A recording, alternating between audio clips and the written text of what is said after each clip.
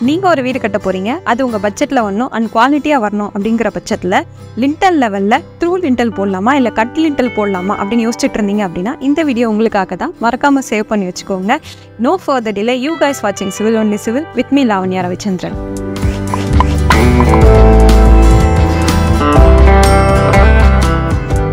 நிறைய பேர் சொல்கிறாங்களே காலமோட லிண்டலை ஜாயின் பண்ணி போட்டால் பில்டிங் இன்னும் ஸ்ட்ராங்காக இருக்கும் அது இன்னொரு எக்ஸ்ட்ரா பீம் அப்படின்னு சொல்கிறாங்களே அது உண்மையா? காலமை பொறுத்த வரைக்கும் ரொம்ப லென்த்தாகவும் இருக்கக்கூடாது ரொம்ப ஷார்ட்டாகவும் இருக்கக்கூடாது. இதை நம்ம ஈஸியாக புரிஞ்சுக்க நான் சின்ன வயசில் கேட்ட கதையை உங்ககிட்ட ஷேர் பண்ணுறேன் ஒரு விவசாயி தன்னோட தோட்டத்துல ஒரு இடத்துல மூங்கில் மரத்தோட விதைகளையும் இன்னொரு இடத்துல முருங்கை மரத்தோட விதைகளையும் விதைச்சாராம். ஒரு வாரத்திலே முருங்கையோட விதைகள் எல்லாம் துளிர்விட ஆரம்பிச்சிச்சு. ஆறு மாசத்திலே ஒரு மாடி வீட்டு ஆயிட்டுக்கு வளர்ந்து நின்றுச்சு ஆறு வருஷம் ஆகியும் மூங்கிலோட விதைகள் முளைக்கவே இல்லை. ஆனால் விவசாயி அவரோட வேலையை அவர் செஞ்சுக்கிட்டே தான் இருந்தாரு. ரெண்டு விதைகளுக்கும் ஒரே மாதிரி தண்ணீர் விட்டுக்கிட்டே இருந்தார். ஆறு வருஷத்துக்கு அப்புறமா மூங்கிலோட விதைகள் சின்னதாக துளிர் விட ஆரம்பிச்சிச்சு.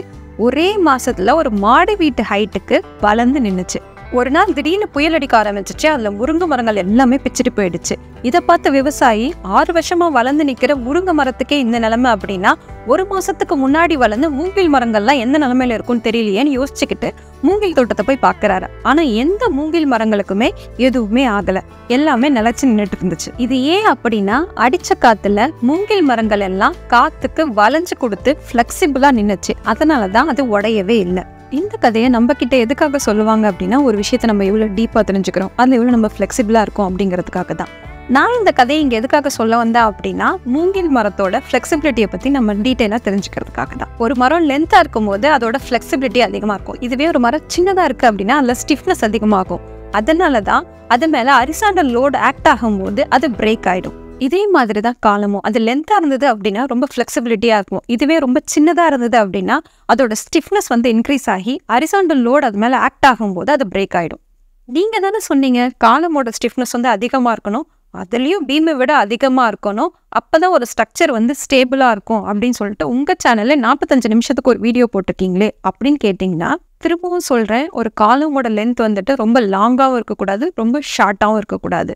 இப்போ டென் ஃபீட் இருக்கிற ஒரு காலம் காலமில் த்ரூ லிண்டல் போட்டிங்க அப்படின்னா கீழே வந்து செவன் ஃபீட் இருக்கும் மேலே வந்து த்ரீ ஃபீட் இருக்கும். இப்போ வந்து பார்த்தீங்கன்னா ஒரு காலம்க்கே ரெண்டு ஸ்டிஃப்னஸ் இருக்குது இதில் வந்து பார்த்தீங்கன்னா த்ரீ ஃபீட்டோட ஸ்டிஃப்னஸ் வேல்யூ வந்துட்டு ரொம்பவே அதிகமாக இருக்கும் செவன் ஃபீட்டை கம்பேர் பண்ணும்போது. இப்போ நீங்கள் இந்த இடத்துல த்ரூ லிண்டல் போடாமல் கட் லிண்டல் போடுறீங்க அப்படின்னா உங்கள் காலமோட லென்த் ஃபுல்லாகவே டென் ஃபீட்டாக இருக்கும். இப்போ வந்து பார்த்தீங்கன்னா ten feet seven feet three feet அப்படின்னு சொல்லிட்டு காலம்ஸ் இருக்குது இதில் எந்த காலமோட ஃப்ளெக்சிபிலிட்டி வந்து ரொம்ப அதிகமாக இருக்கும் அப்படின்னு பார்த்தீங்கன்னா டென் ஃபீட்டோடது மட்டும்தான். ஏன்னா அதுதான் இருக்கிறதுலே ரொம்ப லென்த்தாக இருக்கும். உங்கள் ஸ்ட்ரக்சரை நீங்கள் சீஸ்மிக் டிசைன் பண்ணுறீங்க அப்படின்னா கண்டிப்பாக த்ரூ லென்டல் கொடுக்கவே கூடாது.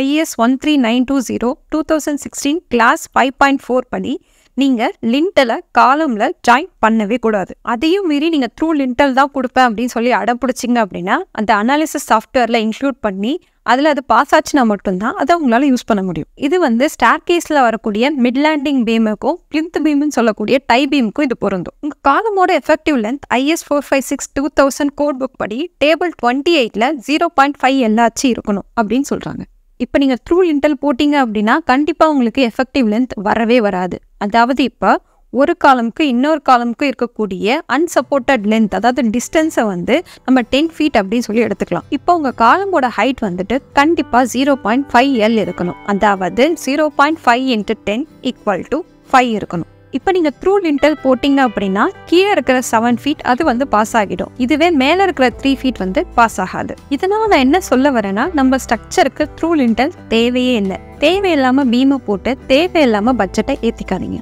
உங்கள் ஸ்ட்ரக்சருக்கு கிரெயின் பீம் அதுக்கப்புறமா ரூஃப் பீமே போதும். இப்போ உங்கள் பேஸ்மெண்ட்டோட ஹைட் ஒன் மீட்டருக்கு மேலே போகுது அப்படின்னா நீங்கள் பிளிங்க் பீமை டிசைன் பண்ணி யூஸ் பண்ணலாம். மேலும் இது போன்ற தகவல்களுக்கு சிவில் ஒன்லி சிவிலாக சப்ஸ்கிரைப் பண்ணுங்கள் உங்களுக்கு சென்னை சைடில் கன்ஸ்ட்ரக்ஷன் பண்ணணும் அப்படின்னா கண்டிப்பாக நம்ம கன்ஸ்ட்ரக்ஷன் கம்பெனியை காண்டாக்ட் பண்ணுங்கள் குவாலிட்டியாக பியூட்டிஃபுல்லாக நிறைய சஜஷன்ஸோடு உங்களுக்காக பண்ணி தருவாங்க.